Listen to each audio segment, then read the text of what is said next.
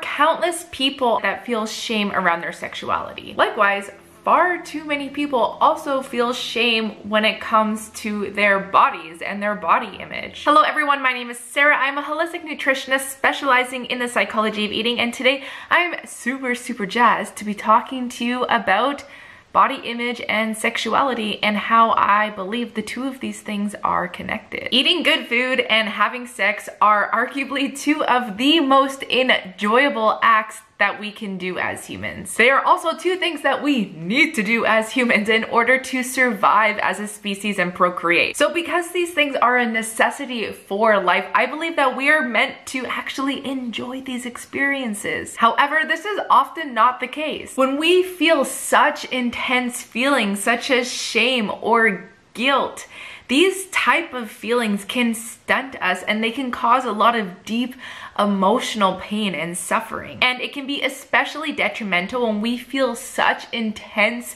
feelings about engaging in very normal human activities. So for those who may struggle with a negative body image, a solution may be to try and control appetite and to regulate food intake. This can lead us to eating a very boring and bland diet that doesn't allow room for indulgence and spontaneity and enjoyment and pleasure. If we don't feel pleasure and we don't feel fulfilled after eating, we're still going to be seeking and looking for that pleasure reward. For some, and very, very, very often, this can lead to binge eating and overeating, typically of highly palatable foods, foods that we often avoid and restrict when we diet. Now, in other cases, sometimes we can use food as a coping mechanism to deal with feelings of inadequacy. Some people falsely believe that if we can control and manipulate the shape of our body through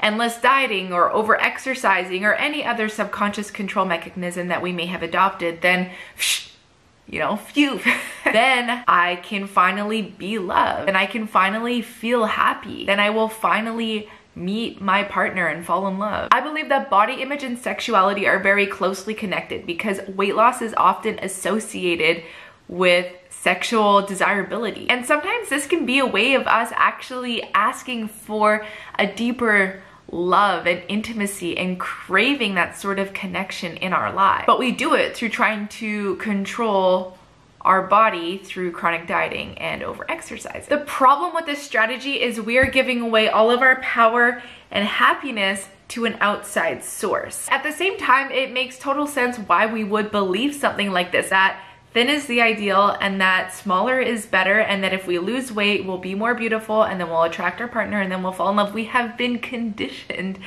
to think this way. Now, when it comes to sex and body image and struggling with one's sexuality, there may be instances where people replace a lack of sexual intimacy with food. And again, this makes total sense. The brain is always seeking out new avenues of pleasure. What is going to make us feel good? If someone has been a victim of any sort of sexual violence or sexual assault or sexual wounding, whether it be physical or emotional, sexual intimacy can actually be a very scary place for some people. And these people may start to seek out pleasure through other sources. So what I'm saying is food could be a symbolic replacement for intimacy. Like I mentioned, our brains constantly crave and scan for pleasure. And when we keep denying ourselves of pleasure and not eating the foods that we really do want to eat, this urge is going to keep knocking